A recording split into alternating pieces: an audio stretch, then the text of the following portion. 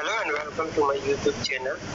Today in this lesson we will learn how to set up ant, ant-based deployment. So we have different different uh, deployment methods in Salesforce. The most common is uh, using change set, using Eclipse and uh, the other one is ant migration tool. Uh, when we have a number, uh, a lesser number of components to deploy from one org to another, then in that case we use change set or or uh, and but in case if we have a huge number of components uh, to be migrated from one org to another org, in that case we use ant-based migration. So uh, before we get started, uh, you need to have Java installed on your machine. Uh, basically, Ant is uh, dependent on Java. So before we get started, you just uh, install Java on, on your machine. So your JDK version should always be uh, latest and greatest. It, it should be uh, greater than 1.5 would work if you have JDK 1.6 or 1.7 but latest one is 1.8 so you can have any one of them but it should be greater than 1.6 so let me go ahead and uh, uh, uh, download ant distribution from this Apache website. So I will go ahead and go here. It will open up this site. Here you can select the latest zip file. So I will download this file. When I click on this system will uh, download this zip file for me. As you can see I have uh, downloaded this zip file. I will I will copy this file in one for uh, in I will copy this file. Let me copy this. And put it here in uh, C folder. I will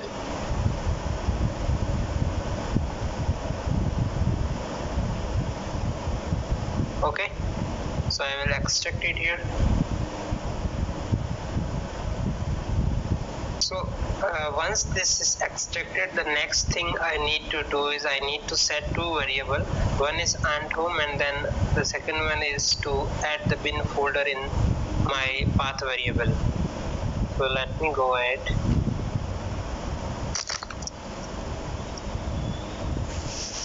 Just give me one minute. I will go here. This is my PC properties advanced system setting environment variable and I will create a new variable which is ant home and this should uh, this should point to the parent of bin folder. It should look like this okay. The next thing is I need to add my bin folder into.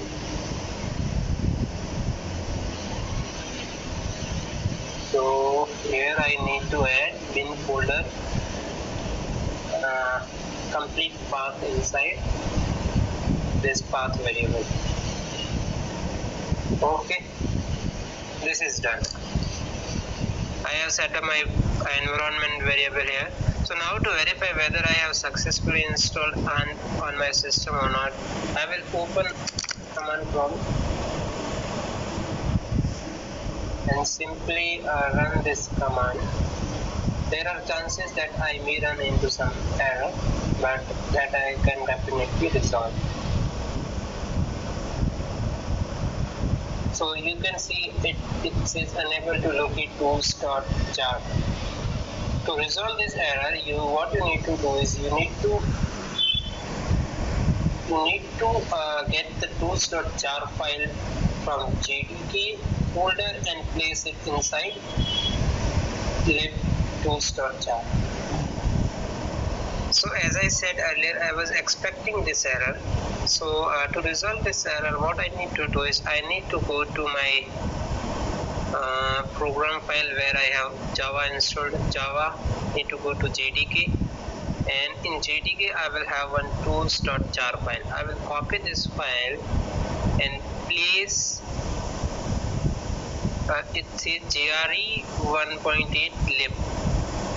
I will place this tool.jar into this lib folder of uh, JRE continue. Okay. Now just close this uh, command prompt and reopen this. Cmd and what was the command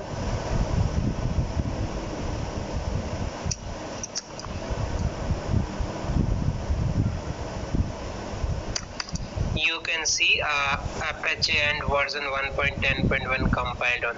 So we have successfully installed on, on our machine. So next thing is uh, is we need to install the force.com migration tool from uh, from Salesforce. So you can log into any developer org or any sandbox or any production org where we will find this uh, force.com migration tool okay I have logged into my Salesforce developer org. So you need to uh, go to the quick find box and type tool. You will uh, see tools under develop. You open that tool and you will see Force.com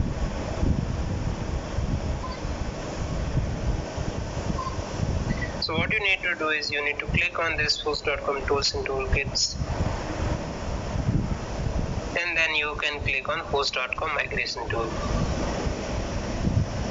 So it will start uh, downloading one.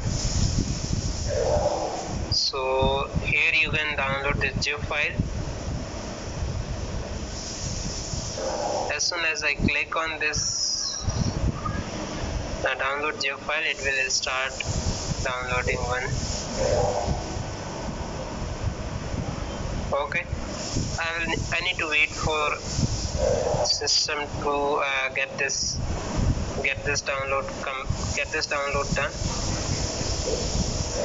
So download is complete. Now will I, now I will go ahead and copy this file from here and put it inside. And I will extract this file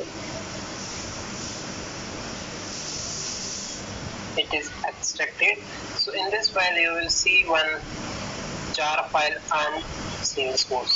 So this is the jar file which we will be using uh, inside our apache bin folder. So uh, i will copy this jar file and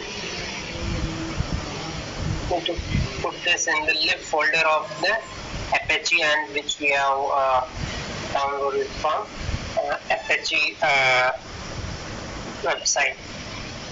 This is it. So we are all set. Uh, the next thing that we need to do is we need to configure two files. One is build.properties and the other one is build.xml. Let's uh, so let's get started in, uh, with these two files that will be used for deployment. So before I go ahead and configure my build.xml and build.properties, I will change my local directory, my current directory from jchaudhary to uh, where to where where where I have where I have on on and uh, migration tool is stored. So let me go ahead. Cd dot dot cd dot dot so I'm, my current directory is C. So now what I need to do is I need to go to on. So uh, I want to make my current directory cd e and t. So now I'm in ant folder. So I can uh, run any kind of command. So the first thing is I need to configure my build properties in the build properties I can uh, I can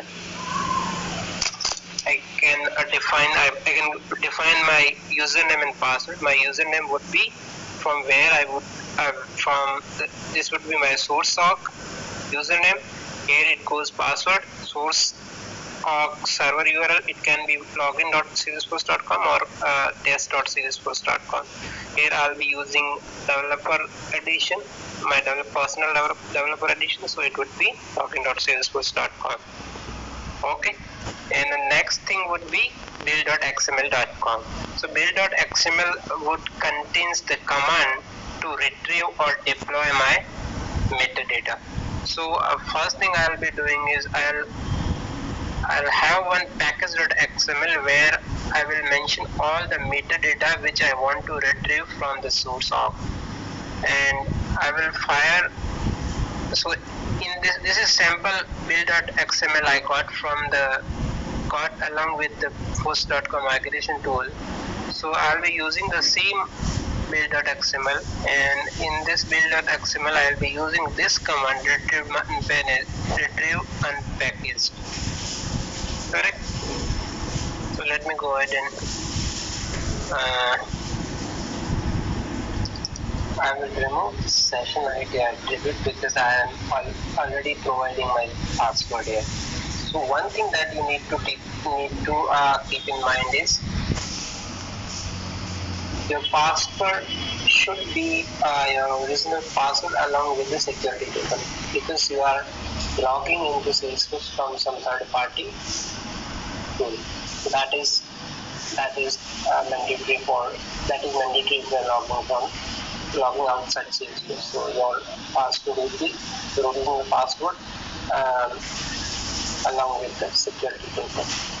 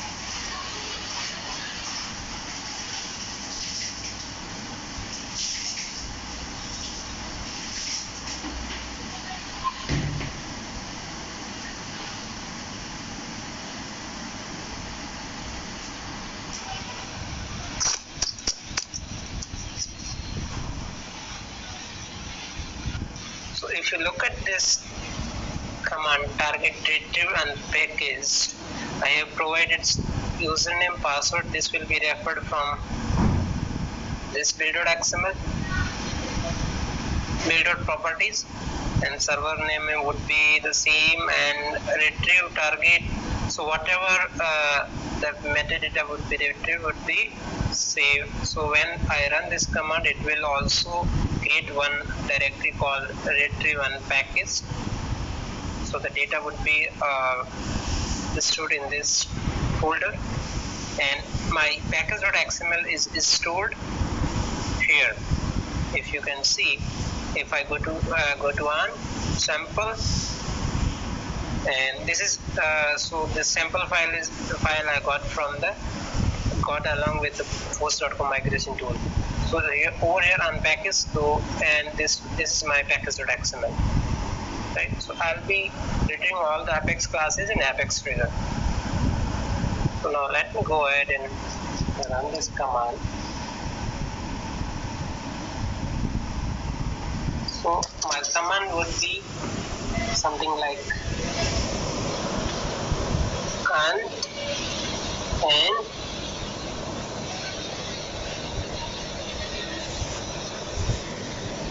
I need to copy both the from here need to put here so if I open my build.xml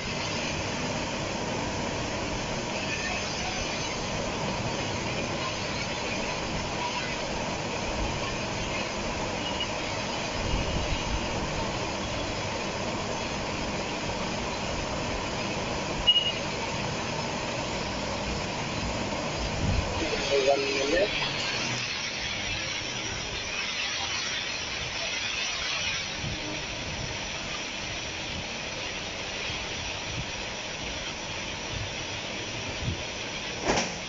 So I was trying to run this command to retrieve data from my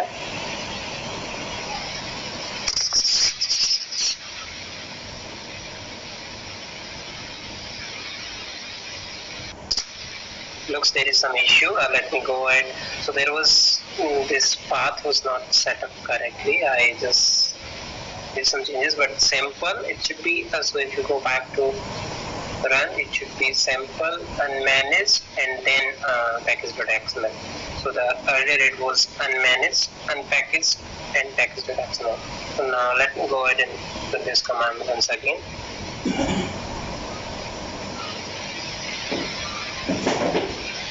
So it is doing some operation in the backend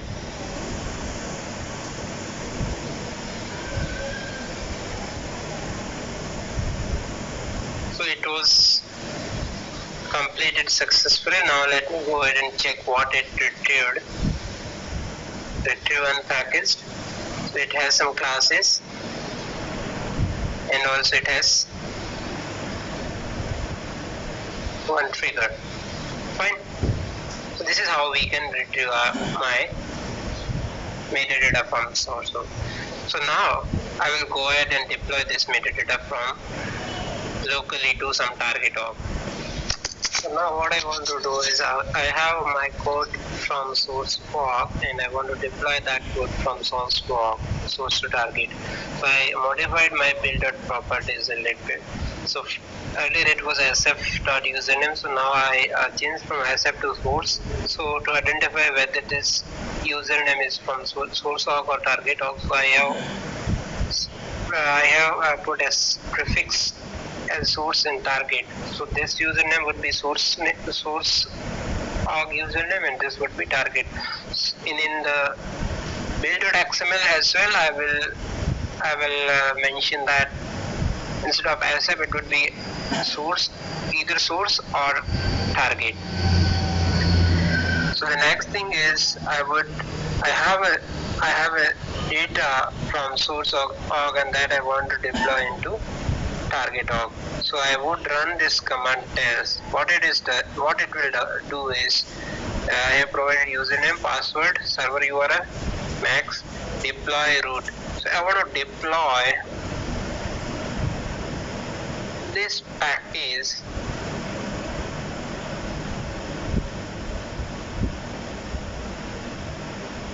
let me open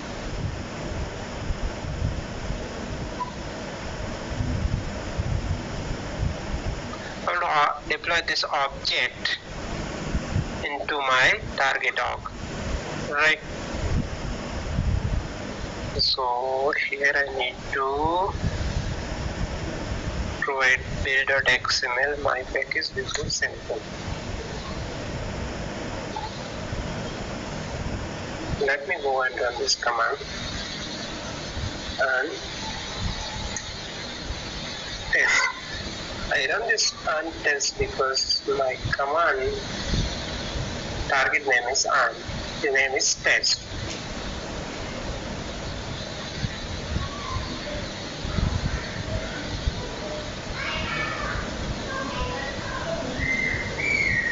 So if I, now if I go back to my uh, target off.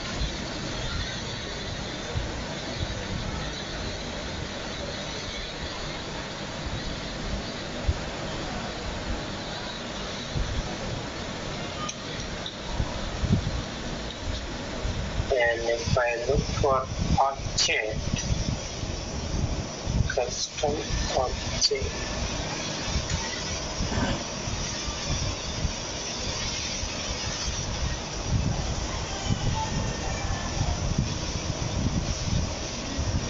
my office deploy this is how we can retrieve or deploy using uh, and and so in the next video I will try to uh, how we can delete some metadata from the target of using ant-based deploy. Thank you for watching my video.